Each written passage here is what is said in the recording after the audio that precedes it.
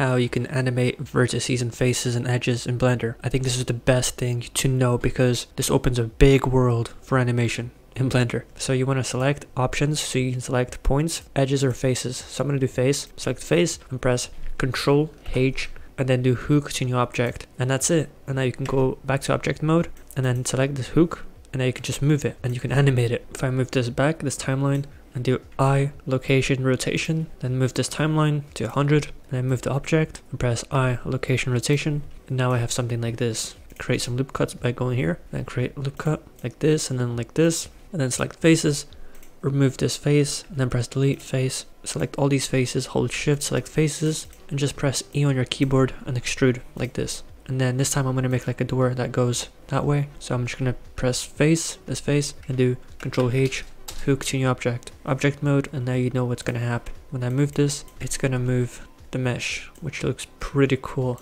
You can make sliding doors, so many cool things. Now I'm just to animate it so it opens and closes, location rotation, move the timeline, and then move this door so it's opening. So now the door is opening, and you can make all kinds of things for your scene to add more life to your scene.